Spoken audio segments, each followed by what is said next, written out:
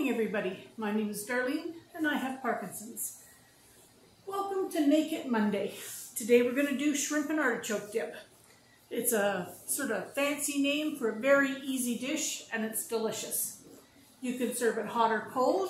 We're going to choose to have ours hot. I'm making one for uh, my son and his wife, and I don't know whether they're going to do theirs hot or cold, but I'll give it to them tomorrow. They're coming by tomorrow. I'm going to hold up the recipe. I will put this into the uh, description box, but if you want to take a screenshot, let's see if I can do that without putting my fingers where it shouldn't be. So there's, you can take a screenshot of that. If, and But I will put it in the description box. I have learned how to do that now. I'm going to just run over the ingredients. We have a block of cream cheese, any kind of cream cheese that you would like. It's best not to use the low fat but you can if you really desire to do that. Um, you need a couple of green onions. I've got those here. You got half a cup of uh, diced celery, very small dice. Half a cup of sour cream, mayonnaise, or a mixture. I'm using the full half cup of sour cream. Two cans of shrimp. I'm going to use one can of shrimp here, just a little tiny. You want the, the cheapest ones you can find, the broken ones or whatever. And then I had some frozen shrimp as well. So instead of two cans, I'm using some of the frozen plus the can. It's equivalent to the two cans. Artichoke hearts, you can do it in water or in oil. These ones are in oil. This was a smaller jar, so this one here, I have three extra that were in water. So you want a slightly larger jar than what this is, and you want to drain that oil off. So I'm going to just get that draining.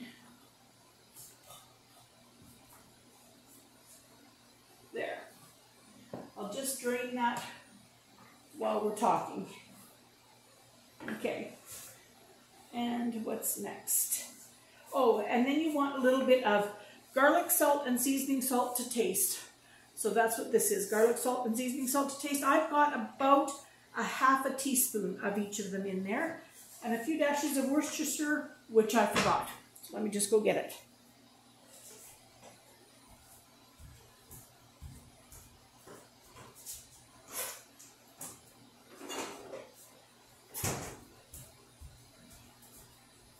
Okay, I'm back. Worcestershire. All right, so this is very easy to do. I'm just going to start putting it all into the bowl. You want your cream cheese, of course, to be softened because you are going to beat this up, and if it's not softened, you will never get it beaten. Now you will see, I do have trouble with my hands, so I'm not very glamorous when I'm doing this, but as long as I can still do it, I will. Okay. I always, because I'm not very good, I always keep a damp cloth so that I can wipe my hands. All right, so I've got my cream cheese and I've got my um, spices. Now I'm going to cut up some green onions here. Now I'm not, you will notice I am not very good with chopping, but I just compensate where I can because, you know, if you stop doing everything, then pretty soon life would be pretty sad and miserable. So I don't want that to happen. So I'm going to just keep on, even if I'm not very graceful at it. I think I'm my own worst critic because I know that this used to be so easy and whatnot. Another thing that I tend to do, I don't know why. If I'm talking on the phone or if I'm sitting in my chair, I sort of slowly get slumped, slumped down. But when I'm cutting vegetables, I do the same thing in my chair here. It's like I'm going to fall off my chair one of these days. I don't know why I do that. It's just from wiggling, I guess. But. And now I'm going to cut the celery really small because it's so much easier to mix with the mixer if you do it then. So you don't want big hunks of it.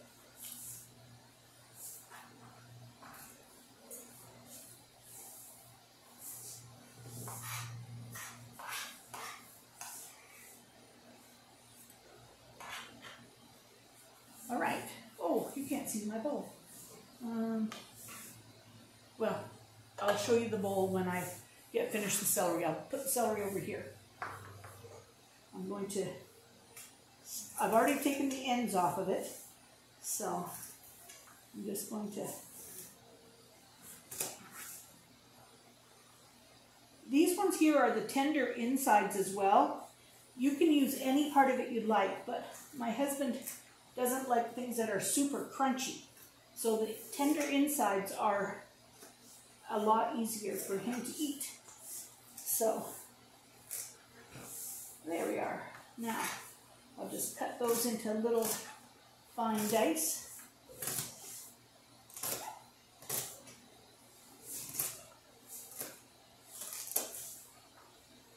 And you know, the thing is too, if you warm them up, then of course your vegetables also, you, uh, your vegetables will also get more tender than if you serve it cold. But you know, if you're having like a, a, a guests over or something, it's kind of nice to have something cold as well as something warm. So, you know, just figure out what you're going to serve. And if you've already got something warm, then make this a cold dip. And if you need a hot dip, this will work.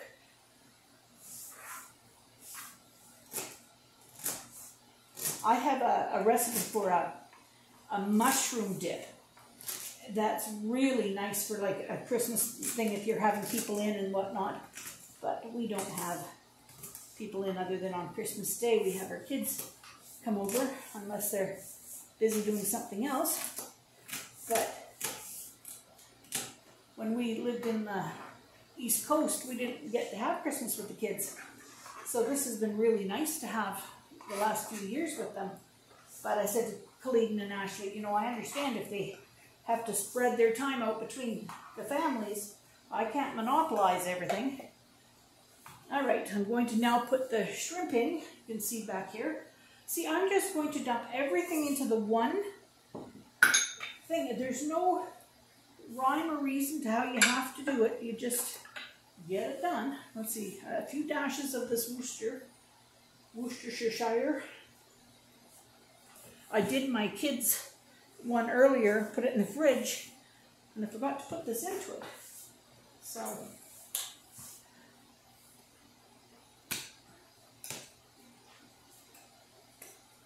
I don't know what difference that's going to make to theirs, but unfortunately, I forgot it. So, and now let's, I'm going to now take the few that I had before, I'm going to cut them up small before I add them. Now these ones were just in water, so they, they don't have any oil or spices or anything onto them.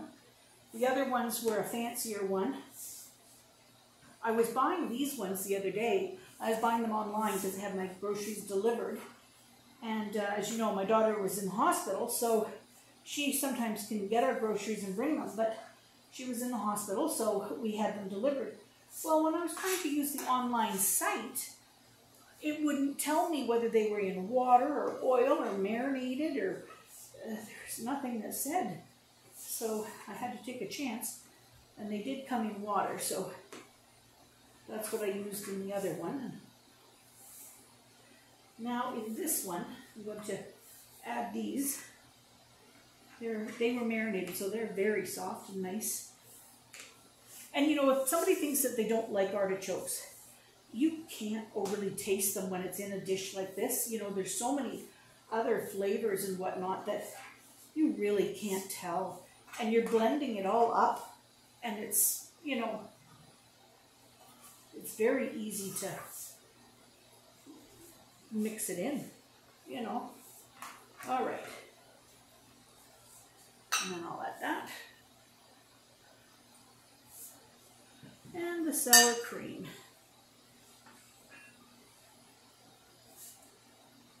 Now let me just double check that I've put everything in. Make sure that I've, I've got it all done here. Let's see. All my trash. Good heavens. Yes, I think I have got it all in. There's nothing left over here. All right, so that's good. I'm going to just whiten my board a little bit so I can put my bowl onto it. There we are. And now I'm going to use the mixer. I hope it's not too loud. We're just going to mix this all up.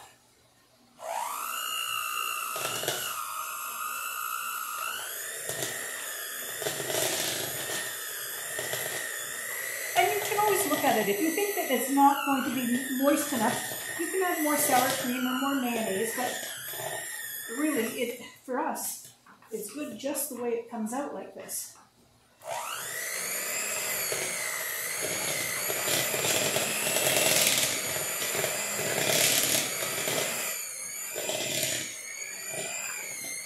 All right.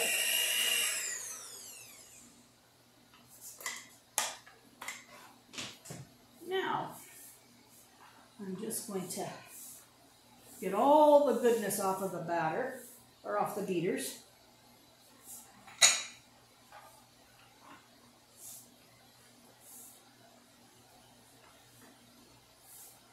There we are. Well, good heavens, hands are not working there whatsoever. All right, now I'm just gonna go wash my hands. I'll be right back. Take this mess with me. I'll be right back.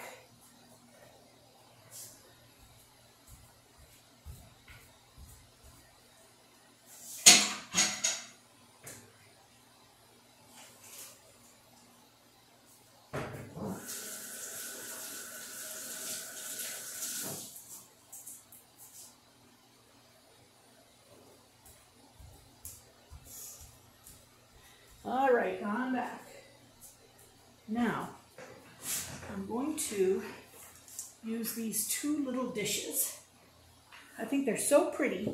At Christmas time, they're red and just nice.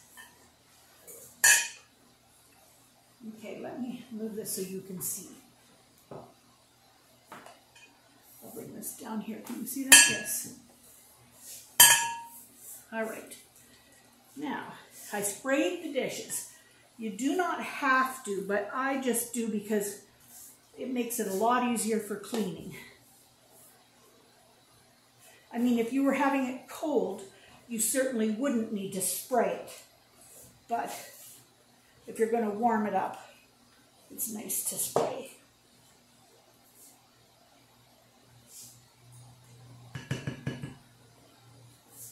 All right. There we are.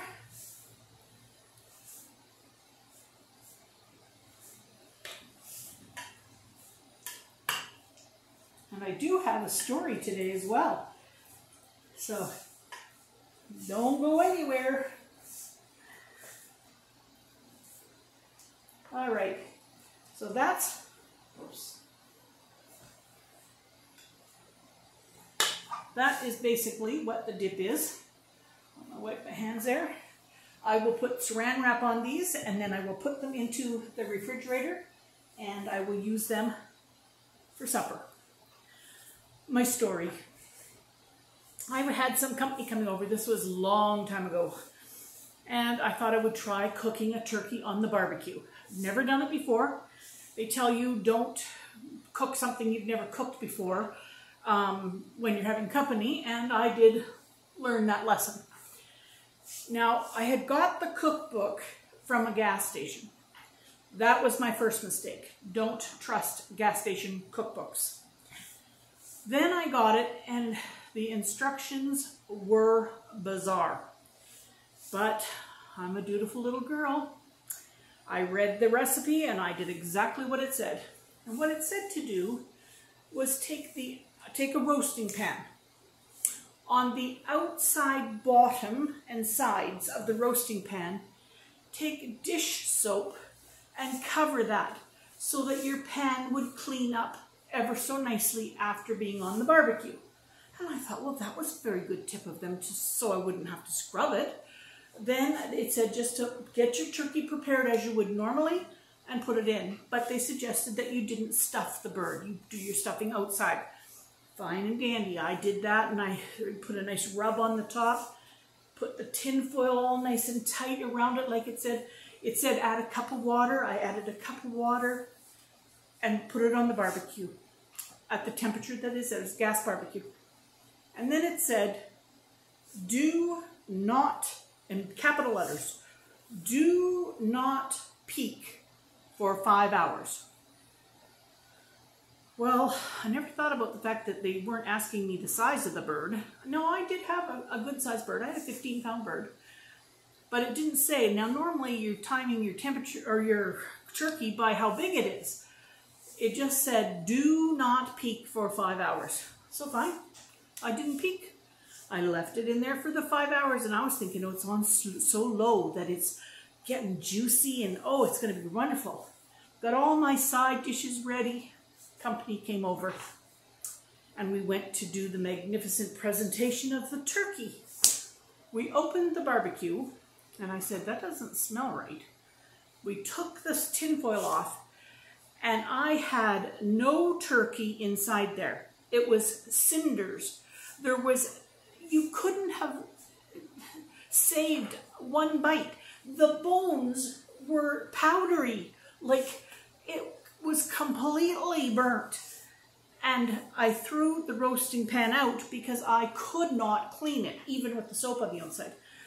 So then we had all side dishes and no meat. And we laughed about it. And I said, I will never again try doing something that I've never done. And I will not buy a recipe book from a gas station. anyway, that's my story for today. We'll see you tomorrow.